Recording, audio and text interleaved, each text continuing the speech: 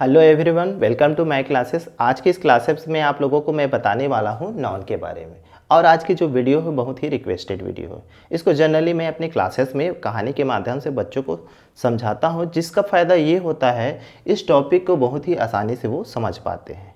और जितने भी जो जो छोटे छोटे मिस्टेक होते हैं, वो उनसे नहीं होते। तो आई होप इसका फ़ायदा आप लोगों को भी होगा। तो लास्ट में आप लोग इस वीडियो को देखने के बाद बताइएगा, आप लोगों को बेनिफिट हुआ कि नहीं हुआ है तो चलिए, बिना टाइम वेस्ट किए आज की क्लासेस चालू करते हैं।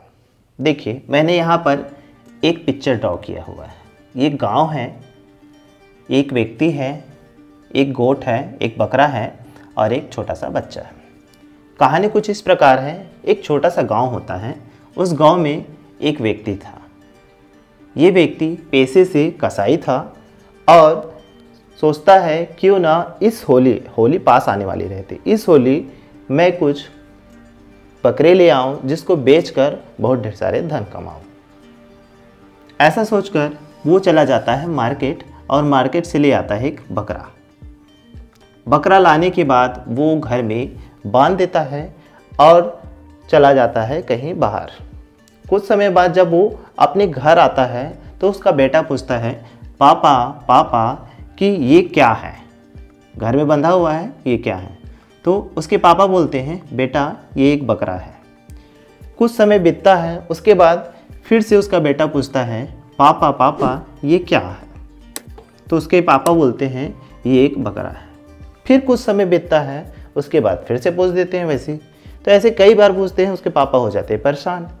आप लोग भी जनरली पापा से मम्मी से ऐसा पूछते हैं तो वो भी परेशान हो जाते हैं। तो इनके पापा जवाब देते हैं, बेटा, ये इसका नाम क्यों करण, क्यों ना कर दिया जाए? जिससे बार बार पूछने की ज़रूरत ही ना पड़े। तो उसके पापा इसका नामकरण कर देते हैं और नामकरण करने के बाद बोल देते हैं, इसका नाम है टोमो। क्या नाम है? टोमो।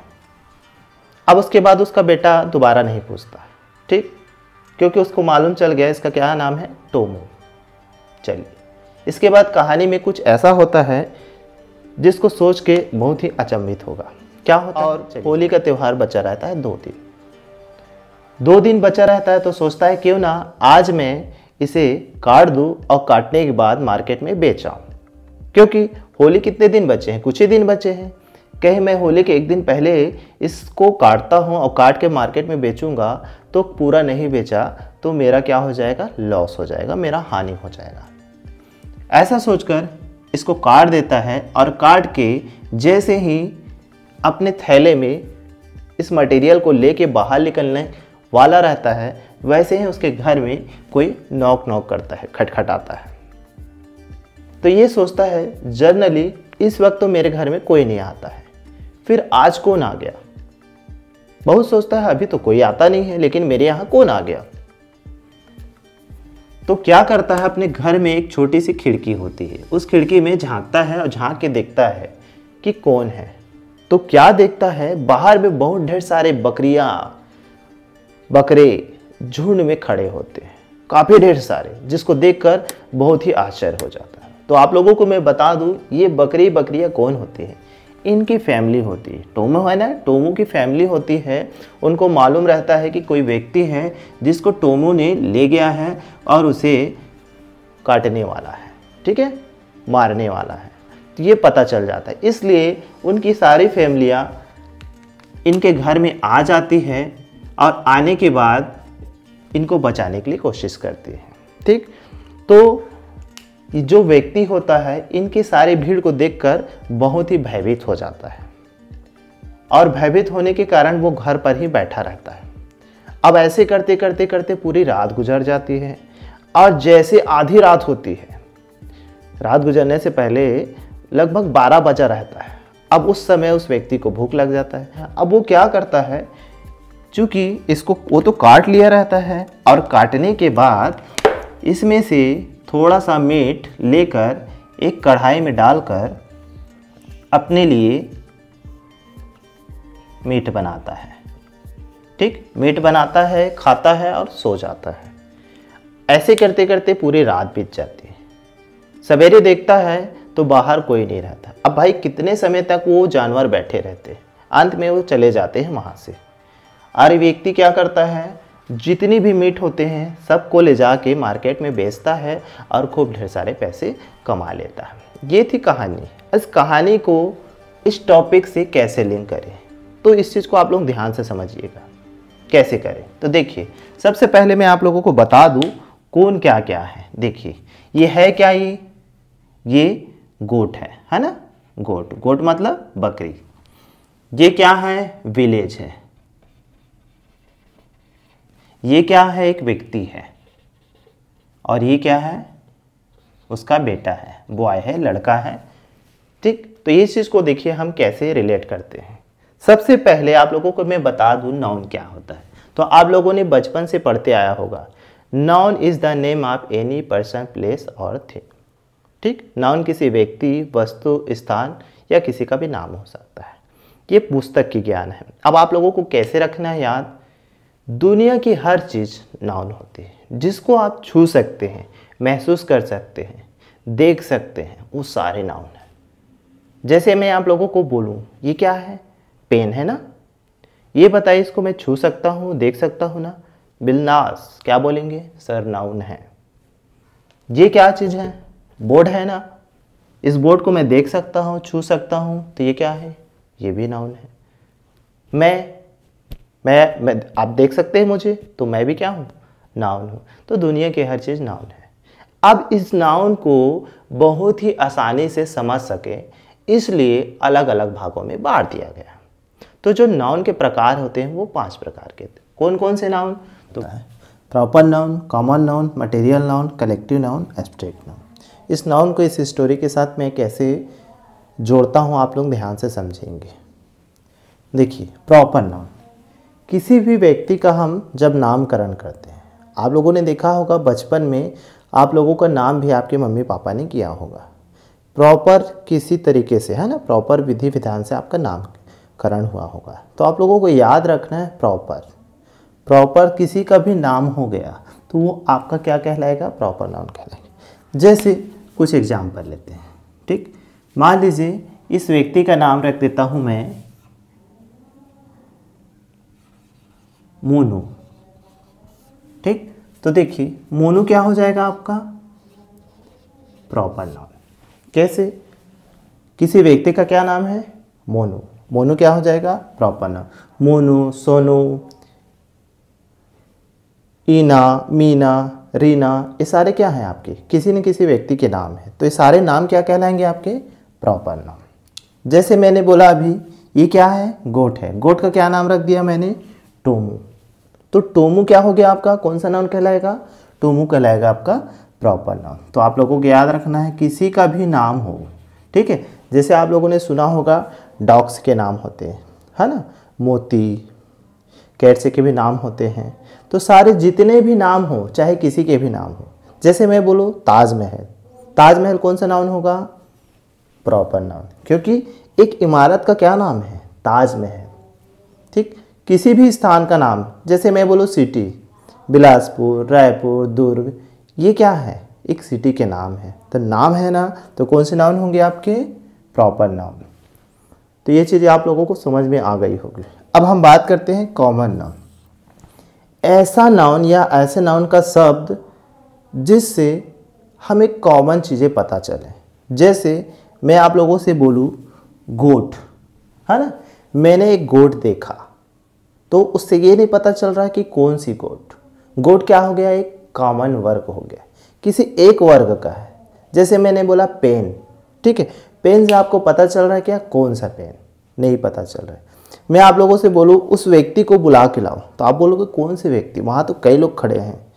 क्यों? क्योंकि वो क्या हो गया? एक कॉमन वर्ड हो गया। तो जैसे जितने भी, ऐसे जितने भी आपके कॉमन वर्ड है, सारे आपके कॉमन नाउन कहलाते क्या क्या चीज़ें आ सकती हैं? तो देखिए, गोट। कौन सा नाउन होगा आपका? जल्दी बताइए। तो गोट हो जाएगा आपका कॉमन नाउन गोट आपका क्या हो जाएगा? कॉमन नाउन मेन उस व्यक्ति को बुला के लाओ। ये क्या हो जाएगा आपका? कॉमन नाउन ठीक? उस लड़के को बुला के लाओ। लड़का क्या हो जाएगा आपका? कॉमन नाउन मतलब बॉय बॉय कौन सा नाउन हुआ? कॉमन नाउन तो कोई भी चीज़ें, जैसे टेबल है, कुर्सी है, पंखा है, मैं आपसे बोलूँ, उस टेबल को उठा के लाओ। सर, कौन सा टेबल? पता नहीं चल रहा क्यों नहीं पता चल रहा कि वैसे कई चीज़, कई चीज़ें होती हैं। तो सारा क्या है? कॉमन है। तो कॉमन से ही आप लोगों को याद रखना है, वो कौन सा नाउन होगा? Common noun. चलिए, उसके बाद बात करते हैं मटेरियल नाउन। तो देखिए, आपको स्टोरी में मैंने बताया था तो इसमें का जो मीट है है ना, इसको पकाया गया था। तो ये चीज़ें क्या है? ये मीट है। और मीट हम जब भी खरीदते हैं, आप लोगों को टिप से याद रखने टिप से याद रखना। जब भी हम मीट खरीदते हैं तो कैसे खरीदते हैं? तौल के खरीदते हैं। है ना? तो ऐसी कोई भी वस्तु जिसका नाप तौल किया जा सकता है, वो कौन सा नाम कहलाएगा आपका? मटेरियल नाम जैसे सबसे पहले क्या आ जाएगा आपका? मीट। मीट को हम नाप तोल के खरीदते हैं। शुगर, ऑयल, इसको भी आप क्या करते हैं? मिल्क। मिल्क जब आप लेते हैं तो कैसे लेते हैं? नाप के ही लेते हैं, तौल के ही लेते हैं, लीटर्स में लेते हैं। उसी प्रकार आप शक्कर है या जो भी मटेरियल है गोल्ड है। गोल्ड भी आप कैसे लेते हैं? आप ऐसे बोलते हैं क्या? मुझे एक गोल्ड चाहिए। नहीं, आप क्या बोलेंगे? मुझे इतने ग्राम गोल्ड चाहिए। इतने ग्राम सिल्वर चाहिए। तो गोल्ड है सिल्वर है, ये सारे आपके क्या कहलाएँगे? मटेरियल नाउन उसके बाद बच गया कलेक्टिव नाउन देखिए कलेक्टिव शब्द को ध्यान दीजिए आप। कलेक्टिव कलेक्टिव मतलब कलेक्शन पर वर्ड ठीक है कलेक्शन पर ध्यान दो। कलेक्शन क्या होता है? हम लोग जनरली बोलते हैं कि, सर, मेरे पास, मेरे बहुत ढेर सारे पेन का कलेक्शन है। उस कलेक्शन में होता क्या है? सेम वर्ग के बहुत ढेर सारी चीज़ें होती हैं। मतलब एक ग्रुप होता है। ठीक है? तो जहाँ पर कलेक्शन ग्रुप ऐसे शब्द आए, वो सारे आपके, क्या कहलाएँगे आपके? कलेक्टिव नाउन कहलाएँगे। जैसे, मैं आप लोगों से बोलूँ पीपल पीपल मतलब क्या होता है? लोग। और लोग में एक से ज़्यादा होंगे ना? एक से ज़्यादा लोग होते हैं। तो वो क्या कहलाएँगे आपके? कलेक्टिव नाउन उसी प्रकार मैं बोलूँ फैमिली फैमिली शब्द से क्या पता चलता है? फैमिली में एक लोग होते क्या? नहीं, एक से ज़्यादा होते हैं। है ना? उसमें मेंबर ऑफ़ है ना? जितने भी होते हैं, जो मेंबर्स होते हैं, मेंबर ऑफ़ होम के या फिर किसी के भी हो तो उसमें क्या होते हैं? एक से ज़्यादा लोग होते हैं। वो भी आपका क्या कहलाएगा? आपका कलेक्टिव नाउन तो फैमिली वर्ड क्या हो गया आपका? Collective noun army crowd crowd मतलब क्या होता है? भीड़। ये सारे भी आपके क्या कहलाएँगे? कलेक्टिव नाउन तो ऐसे वे सारे सब जिससे किसी न किसी ग्रुप का कलेक्शन का पता चले। वो सब आपके कहलाते हैं कलेक्टिव नाउन इसके अलावा जो भी चीज़ें बच गई क्या क्या चीज़ें बच गई? जैसे यहाँ करें कि आप लोगों ने देखा मिट जब बनाया जा रहा था तो मिट जब बनाया जाएगा तो कुछ न कुछ उसमें गंध आएगी या खुशबू आएगी, है ना? तो उससे क्या पता चलता है? वो सारे चीज़ जिससे किसी भाव का या किसी सुगंध का या कोई भी चीज़ें ऐसे पता चले, वो सारे आपके कहलाते हैं abstract नाउन ठीक? तो देखिए, एक बार फिर से मैं रिवाइज करता हूँ, आप लोग ध्यान दीजिएगा। प्रॉपर नाउन प्रॉपर नाउन को आप कैसे पहचानेंगे? किसी का भी प्रॉपर तरीके से विधि विधान से नामकरण कर दिया गया। तो क्या कहलाएगा आपका? प्रॉपर नाम जैसे किसी व्यक्ति का नाम है टोनो, मोनो, इना, मीना, कुछ भी हो, है ना? तो सारे क्या कहलाएँगे आपके? प्रॉपर नाउन अब प्रॉपर नाउन में बहुत ढेर सारी चीज़ें हैं। सिटी सिटी कौन सा नाउन होगा? सिटी कॉमन वर्ड है। मैं ये सिटी जा रहा हूँ। पता चल रहा है क्या? नहीं। तो सिटी कौन सा नाउन हुआ? सिटी आपका कॉमन नाउन है। बट मैंने बोला बिलासपुर सिटी बिलासपुर सिटी कौन सा नाउन हुआ? आपका हो जाएगा प्रॉपर नाउन रायपुर। रायपुर कौन सा नाउन हुआ? आपका प्रॉपर नाउन मैंने बोला गंगा रिवर तो गंगा रिवर क्या है आपका? प्रॉपर नाउन क्योंकि रिवर का नाम है। लेकिन बट मैंने बोला केवल रिवर रिवर कौन सा नाउन होगा? मैं ये रिवर घूमने जा रहा हूँ। तो रिवर क्या है आपका? कॉमन वर्ड है। तो रिवर कहला जाएगा आपका कॉमन नाउन उसी प्रकार मटेरियल नाउन ऐसी कोई भी चीज़ जिसको हम नाप के, तौल के लेते हैं या जिसका हम मेज़रमेंट करते हैं, वो सारे क्या हैं आपके?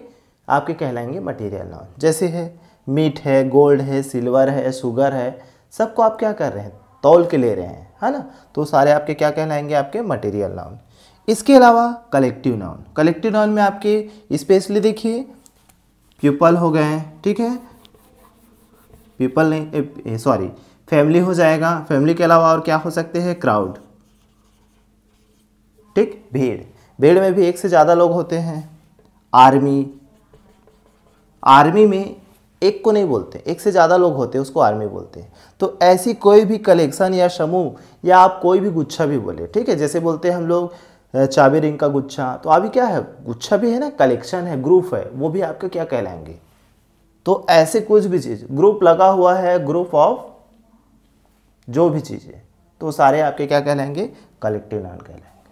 उसी प्रकार उसके अलावा कोई ऐसे वर्ड जिससे किसी भाव का या किसी चीज़ का क्या हो रहा है हमें? बोध हो रहा है, महसूस हो रहा है। वही सारे शब्द आपके कहलाते हैं। आप स्टेट नाउन जैसे लाफ हंसना। हंसना कौन सा नाउन होगा? ये होगा आपका स्टेट नाउन खुशबू, कौन सा नाउन होगा? ठीक? ईमानदार ईमानदार भी आपका हुआ ना? कौन सा नाउन हुआ? स्टेट नाउन तो ये सारे नाउन आप लोगों को आई होप आप लोगों ने इस चीज़ को समझा होगा। इसके बाद हम देखेंगे कि कुछ नाउन्स हैं जिसके बहुत ही इंपॉर्टेंट छोटे से रूल्स होते हैं। वो आपको मैं नेक्स्ट वीडियो में बताऊँगा। तो ये वीडियो आप लोगों को कैसा लगा, आप लोग मुझे कमेंट करके बताइएगा। कुछ छोटा सा रूल्स है, उस रूल्स को आप फॉलो करेंगे तो इसके जो आप लोगों ने जो इस वीडियो में सीखा, वो आपका बिल्कुल परफेक्ट हो जाएगा। तो क्या आप लोगों के लिए मैं वो वीडियो बनाऊँ? कमेंट करके आप मुझे ज़रूर बताएगा ठीक है? Thank you.